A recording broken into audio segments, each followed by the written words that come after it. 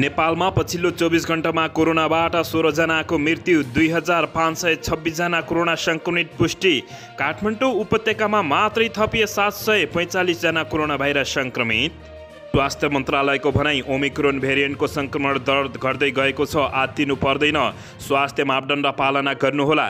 चाँडै स्थानीय चुनावको निर्वाचन घोषणा हुनेमा प्रमुख निर्वाचन आयुक्त भने ढुक्क। विद्यालय भौतिक रूपमा सञ्चालन गर्ने कि नगर्ने सरकारले थाल्यो यस्तो छलफल। आजदेखि पाँच करोड बाइस लाख रुपियाँको आइपिओको बिक्री खुल्ला हुँदै कहिलेसम्म आवेदन दिन मिल्छ पुरा जानकारी क्रिप्टो र नेटवर्किङमा झन् कडाइ गर्दै सरकार। उपत्यकाका केही स्थानीय तहले गरे भौतिक रूपमै विद्यालय सञ्चालनको निर्णय। उपत्यकासहित देशैभर वर्षा आइतबारदेखि मौसममा सुधार हुँदै जाने। हावाहुरीका कारण मध्य प्रदेशमा तिनजनाको मृत्यु। मूर्ति चोरेर जेल सजाय भोगेका गैर सांसद कार्चेला लामालाई मन्त्री बनाउन पुष्पकमल दाहाल प्रचण्डको निर्देशन।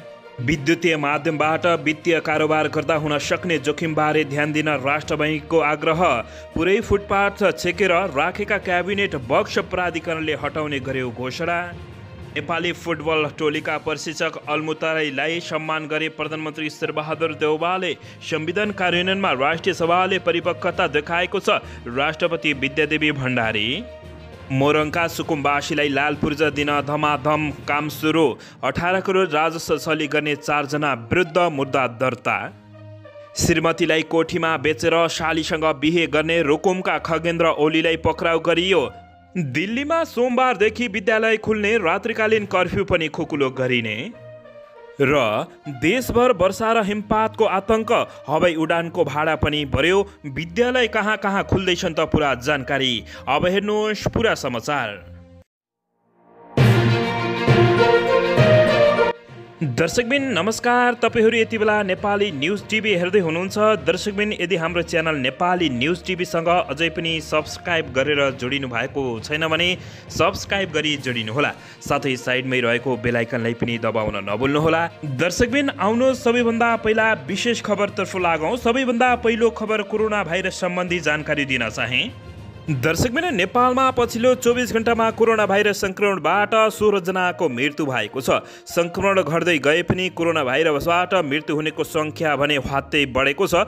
बिहिबार नेपालका कोरोनाबाट नेपालमा कोरोनाबाट चौधजनाको मृत्यु भएको थियो भने योसँगै नेपालमा कोरोना भाइरसबाट मृत्यु हुनेको सङ्ख्या एघार हजार सात सय चौरानब्बे पुगेको छ। सङ्क्रमण भने निरन्तर ओह्रालो लाग्दै गएको छ। पछिल्लो चौबिस घन्टामा थप दुई हजार पाँच सय छब्बिसजनामा कोरोना भाइरस सङ्क्रमण पुष्टि भएको हो।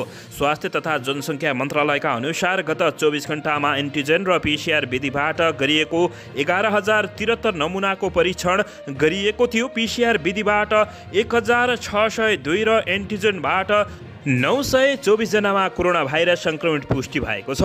चौबिस घन्टामा निको हुनेको सङ्ख्या भने आठ हजार चार सय पच्चिस रहेको छ। नेपालमा अहिलेको सक्रिय सङ्क्रमितको सङ्ख्या छप्पन्न हजार चार सय पचहत्तर रहेको स्वास्थ्य मन्त्रालयले जानकारी दिएको छ। चौबिस घन्टामा पाँच लाख तेह्र हजार एकाउन्नजनाले खोप लगाएको समेत जानकारी प्राप्त भएको छ। दर्शकबिन यसैबीच पछिल्लो चौबिस घन्टामा काठमाडौँको उपत्यकामा मात्रै सात सय पैँचालिसजनामा कोरोना भाइरस सङ्क्रमित भएका छन्। काठमाडौँमा पाँच सय सत्तरीमा सत्तरी भक्तपुरमा पाँच सय पचपन्नजना र ललितपुरमा एक सय बिसजना सङ्क्रमित थकिएको जानकारी प्राप्त भएको छ। यो सँगै काठमाडौँ उपत्यकामा पैँतिस हजार सात सय अडचालिसजना पुगेको जानकारी प्राप्त भएको हो। आज देशभर पचपन्न पचपन्न हजार नब्बेजना होम आइसोलेसनमा र एक हजार तिन सय सडतिसजना संस्थागत आइसोलेसनमा रहेका छन्। त्यस्तै दुई सय त्रिचालिसजना एसियु तथा एकाउन्नजना भेन्टिलेटरमा उपचाररत रहेको स्वास्थ्य तथा जनसङ्ख्याले मन्त्रालयले जानकारी दिएको छ। दर्शकबिन यसैबीच आउनुहोस् अर्को समाचारतर्फ लागौँ। जाल्पा सामुदायिक लघु वित्तीय संस्था लिमिटेडको साधारण सेयर आइपिओको बिक्री खुल्ला भएको छ। कम्पनीले आज शुक्रबारबाट पाँच करोड बाइस लाख बराबरको पाँच लाख बाइस हजार किता आइपिओको बिक्री खुल्ला गरेको हो। कम्पनीले कुल किता आइपिओ मध्ये आठ हजार किता कर्मचारीहरूका लागि र पाँच प्रतिशत अर्थात् छब्बिस हजार एक सय किता सामूहिक लगानी कोषहरूलाई सुरक्षित राखेको छ। यी बाहेक बाँकी चार लाख। सतासी हजार नौ सय किता आइपिओ भने सार्वजनिकमा सार्वजनिकलाई निष्कासन गरेको छ। यो आइपिओमा छिटोमा माघ पच्चिस गतेदेखि र ढिलोमा फागुन छ गतेसम्म आवेदन दिन सकिने व्यवस्था छ। आवेदकहरूले न्यूनतम दस कितादेखि पचास हजार दुई सय बिस किताका लागि आवेदन दिन सक्नेछन्। आइपिओ निष्कासन तथा बिक्री प्रबन्धनकामा प्रभु क्यापिटल लिमिटेड रहेको छ भने बिक्री प्रबन्धन सकै सी आशबा सेवामा सहभागी सम्पूर्ण बैङ्क तथा वित्तीय संस्था र मेरो सेयर सेयर वेबसाइट तथा एप मार्फत पनि आवेदन दिन सक्ने व्यवस्था गरिएको छ। दर्शकबिन यसैबीच आउनुहोस् अर्को समाचारतर्फ लागौँ। विभिन्न बैङ्क तथा वित्तीय संस्थाको नक्कली फेसबुक पेजबाट सम्पर्क गरी खाताबारे जानकारी लिने र पैसा झिक्ने गरेको गुनासो बढेपछि नेपाल राष्ट्रिय बैङ्कले त्यसबाट सचेत रहन सर्वसाधारणहरूलाई आग्रह गरेको छ। मोबाइल बैङ्किङ मार्फत पासवर्ड र ओटिपी नम्बर मागेर पैसा झिक्ने गरेको अनुसन्धान अधिकारीहरू बताउँदै आएका छन्। अपराध महाशाखा र केन्द्रीय अनुसन्धान ब्युरो सिआइबीमा यस यसबारे थुप्रै जानकारी प्राप्त भएका छन् र उजुरी समेत आएका छन्। खातावालाको बैङ्क खाताबारे जानकारले मात्र होइन अन्धधुन्द सम्पर्क गरेर यस किसिमको आपराधिक गतिविधि हुने गरेको प्रहरी अधिकारीहरूले बताएका छन्। राष्ट्र बैङ्कले शुक्रबार एक विज्ञप्ति जारी गर्दै भनेको छ अपरिचित व्यक्तिलाई कुनै पनि माध्यमबाट आफ्नो गोप्य पासवर्ड ओटिपी वा अन्य कुनै पनि संवेदनशील जानकारी दिनु हुँदैन। मोबाइल वा अन्य डिभाइस एवं एपिपीका पासवर्डहरू बेला बेलामा परिवर्तन गर्नुपर्छ यस्ता पासपोर्ट गोप्य तरिकाले सुरक्षित राख्नुपर्ने बताएको छ। राष्ट्र बैङ्कले सर्वसाधारणका लागि विभिन्न साध बुधे सूचना समेत जारी गरेको हो। दर्शकबिन यसैबीच आउनुहोस् अर्को समाचारतर्फ लागौँ। प्रधानमन्त्री शेरबहादुर देउबाले भौतिक रूपमा विद्यालय खोल्ने विषयमा सरकारवालाहरूसँग छलफल गरिरहेका छन्। कोरोना भाइरस सङ्क्रमणको तेस्रो लहरसँगै बन्द रहेका शिक्षण संस्था खोल्ने विषयमा अहिले सरकारवालाबीच र प्रधानमन्त्री शेरबहादुर देउबाले छलफल गरिरहेका हुन्।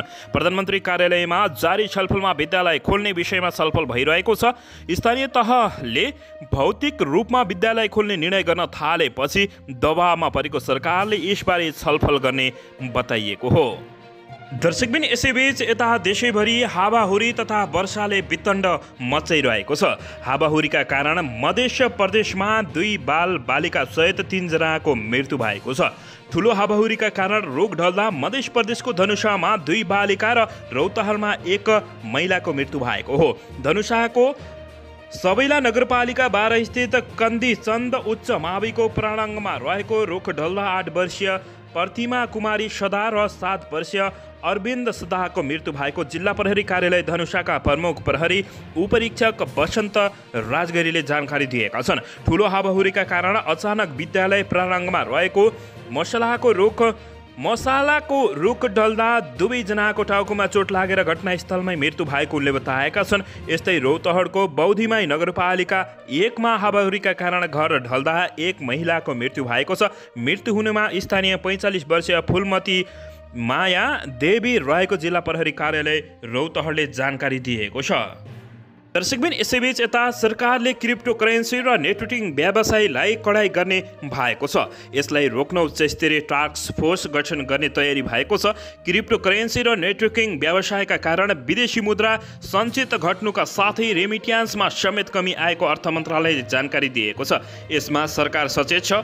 मन्त्रालयका प्रवक्ता रितेश कुमार साक्यले बताएका छन् उनले भने टास्क फोर्स नै गठन गरेर अपरेसन गर्ने योजना बनाउँदैछौ।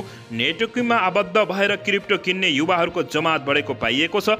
हाइपर फन्ड जोसियल सोलिक्स म्याक्स वाउन्ड लगायतका नेटवर्किङ व्यवसायले अर्थतन्त्रमा चुनौती थपेको साकेले बताएका छन्। यसैबीच अर्थतन्त्रमा चुनौती थपेपछि नेपालमा रहेका मात्र नभई विदेशमा बस्ने नेपाली पनि यस्ता गतिविधिमा संलग्न छन्। सरकारले नेटवर्किङ र क्रिप्टो करेन्सीलाई अवैध भनेको छ। हालै केन्द्रीय राजस्व राजेश्वर चुहावट नियन्त्रणमा समितिको बैठकमा अर्थमन्त्री जनार्दन शर्माले डिजिटल प्राविधिले परेकोले राजेश्वर चुहावट बढेको र रेमिटान्स प्रवाहमै असल परेको बताएका थिए।